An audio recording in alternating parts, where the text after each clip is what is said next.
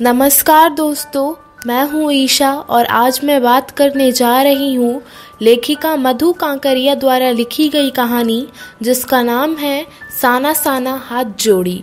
तो चलिए दोस्तों, शुरू से इस कहानी को समझते हैं। लेखिका मधु कांकरिया जी पहली बार पहाड़ी क्षेत्रों, पर्वतों और प्राकृतिक दृश्यों को बहुत करीब से देख रही थी और यह देखकर वह काफ़ी रोमांचित महसूस कर रही थी। दरअसल इन पहाड़ों की यही खूबसूरती है। ये पहाड़ पर्यटकों को अपनी मनमोहक प्राकृतिक सुंदरता से अपनी ओर खींच लेते हैं। बहती नदियाँ ऊँचे ऊँचे पहाड़ों से गिरते जलप्रपात, बर्फ़ से ढके पर्वत और टेढ़े मेढ़े संकरे रास्ते पर्यटकों के मन को मोह लेते हैं। वहीं दूसरी तरफ़ यहाँ रहने वाले स्थानीय लोगों के लिए यह पहाड़ मुसीबत बन जाते हैं।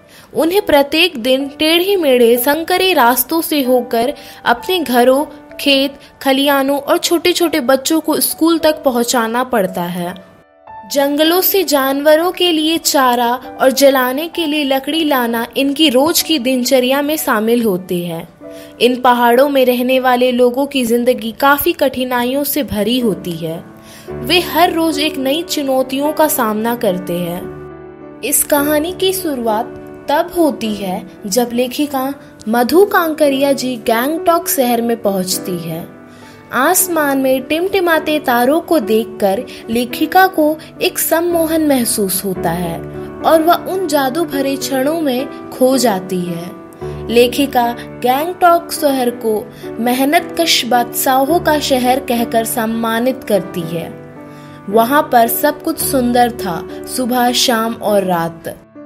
अगली सुबह वह एक नेपाली युवती द्वारा सिखाई गई प्रार्थना करती है। साना साना हाथ जोड़ी, गर्द हु प्रार्थना। हमरो जीवन, तिमरो कौशली मतलब छोटे छोटे हाथ जोड़कर प्रार्थना कर रही हूँ कि मेरा सारा जीवन अच्छाइयों को समर्पित हो। प्रार्थना करने के बाद वह युमथांग की ओर चलने से पहले हिमालय की तीसरी सबसे बड़ी चोटी कंचनजंगा को देखने के लिए अपनी बालकनी में पहुँच जाती है। क्योंकि यहाँ के लोगों ने उन्हें बताया था कि यदि मौसम साफ़ हो तो बालकनी से कंचनजंगा दिखाई देती है। बादल होने के कारण उन्हें कंचनजंगा की चोटी तो नहीं दिखाई दी, लेकिन सामने वाली बगीचे में खिले फूल को देखकर वह काफ़ी खुश हो जाती है। इसके बाद लेखिका गैंगटॉक शहर से एक किलोमीटर दूर युमथांग यानी घाटियों और फूलों से लदी वादियों को देखने के लिए अपने गाइड जितेन नॉर्गे और सहेली मणि के साथ निकल पड़ती है। जगह जगह पाइन और धूपी के खूबसूरत, नुकीले पेड़ों को देखते हुए वह धीरे धीरे पहाड़ी रास्तों से होकर आगे बढ़ने लगती है। आगे बढ़ते ही लेखिका को बौद्ध धर्म विलंबियों द्वारा लगाई गई सफ़ेद पतकाएँ दिखाई देती है। मंत्र लिखी ये पतकाएँ किसी ध्वज की तरफ़ फहरा रही थी, जो कि शांति और अहिंसा का प्रतीक था। जब लेखिका ने इन पतकाओं के बारे में अपने गाइड जितिन नॉर्गे से पूछा तो उसने बताया कि जब भी किसी बुद्धिस्ट की मृत्यु होती है तो उसकी आत्मा की शांति के लिए शहर से दूर किसी पवित्र स्थान पर 108 श्वेत पतकाएँ फहरा दी जाती है।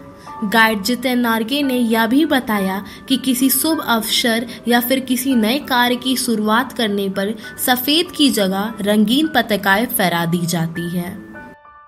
थोड़ी दूर पर स्थित कवि लॉन्ग स्टॉक जगह के बारे में जितेन नार्गे ने बताया कि यहाँ पर गाइड फ़िल्म की शूटिंग हुई थी।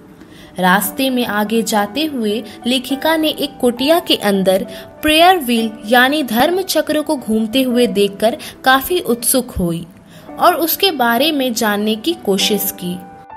तब नारगे ने बताया कि प्रेयर व्हील एक धर्म चक्र है, इसको घुमाने से सारे पाप धुल जाते हैं।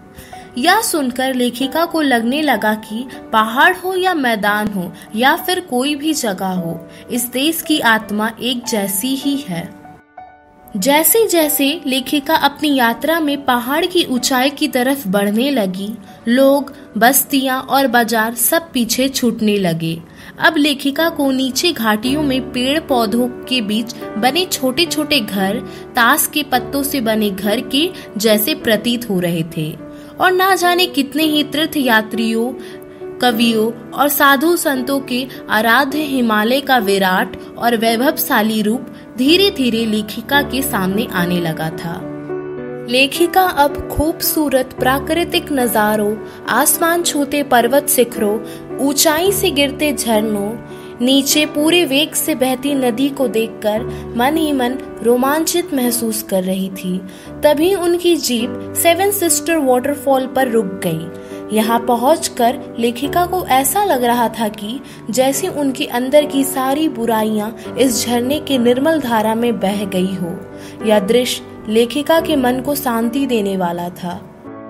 पर्वत, झरने घाटियों और वादियों के दुर्लभ नजारे सब कुछ बेहद खूबसूरत था। तभी लेखिका की नज़र थिंक ग्रीन बोर्ड पर पड़ी। सब कुछ कल्पनाओं से भी ज़्यादा सुंदर था। वहाँ पर लेखिका को जमीनी हकीकत का एक दृश्य अंदर से झकझोर कर गया। जब लेखिका ने कुछ पहाड़ी औरतों को कुदाल और हथौड़ी से पत्थर तोड़ते हुए देखा कुछ महिलाओं की पीठ में बड़ी सी टोकरियाँ थी, जिनमें उनके बच्चे बंधे थे। मातृत्व साधना और श्रम साधना का यह रूप देखकर लेखिका को आघात हुआ। पूछने पर लेखिका को पता चला कि ये महिलाएँ पहाड़ी रास्तों को चौड़ा बनाने का काम कर रही है और यह बड़ा खतरनाक काम होता है, क्योंकि रास्तों को चौड़ा बनाने के लिए डायनामाइट का प्रयोग किया जाता है और कई बार तो इससे मजदूरों की मौत भी हो जाती है। यह देखकर वह मन ही मन सोचने लगी कि कितना कम लेकर ये लोग समाज को कितना अधिक वापस कर देते हैं। थोड़ी दूर चलने के बाद लेखिका ने देखा कि सात आठ साल के बच्चे अपने स्कूल से घर लौटते हुए उनसे लिफ्ट मांग रहे थे। जब लेखिका ने स्कूल बस के बारे में पूछने पर नार्गे से पूछा तो नार्गे ने हँसते हुए बताया कि पहाड़ी इलाकों में जीवन बहुत कठोर होता है। ये बच्चे रोज तीन से चार किलोमीटर पहाड़ी रास्तों से पैदल चलकर अपने स्कूल पहुँचते हैं और शाम को घर आकर अपनी माँ के साथ मवेशियों को चराने जंगल जाते हैं और जंगल से भारी भारी लकड़ी के गट्ठर सिर पर लाद कर घर लाते हैं। फिर शाम को लेखिका ने देखा कि कुछ पहाड़ी औरतों अपने गायों को चरा कर वापस अपने घर लौट रही थी। लेखिका की जीप चाय के बगानों से गुजरने लगी। सिक्किमी परिधान पहने कुछ युवतियाँ बगानों से चाय की पत्तियाँ तोड़ रही थी। यूमथांग पहुँचने से पहले लेखिका को एक रात लायुंग में बितानी थी। लायुंग गगनचुंबी पहाड़ों के तले से एक छोटी सी शांत बस्ती थी। लेखिका अपनी थकान मिटाने के लिए तिस्ता नदी के किनारे एक पत्थर के ऊपर जाकर बैठ गई।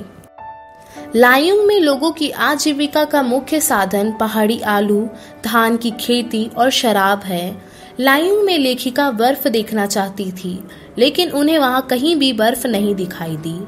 तभी एक स्थानीय युवक ने लेखिका को बताया कि प्रदूषण के कारण अब यहाँ बर्फबारी बहुत कम होती है।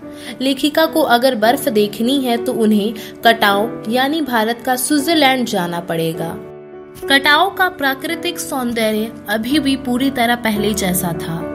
लायुंग से कटाओ तक का सफ़र लगभग दो घंटे का था, लेकिन वहाँ तक पहुँचने का रास्ता बहुत खतरनाक था।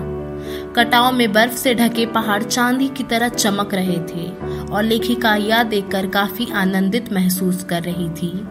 कटाओं में लोग बर्फ़ के साथ फ़ोटो खिंचवा रहे थे। लेखिका को मानो ऐसा लग रहा था कि जैसे कि ऋषि मुनियों को वेदों की रचना करने की प्रेरणा यहीं से मिली हो। और उन्हें यह भी महसूस हो रहा था कि यदि इस असीम सौंदर्य को कोई अपराधी भी देख ले तो वह भी आध्यात्मिक या ऋषि हो जाए।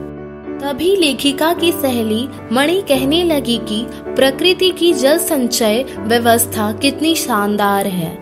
यह हिम शिखर जल स्तंभ है पूरे एशिया के।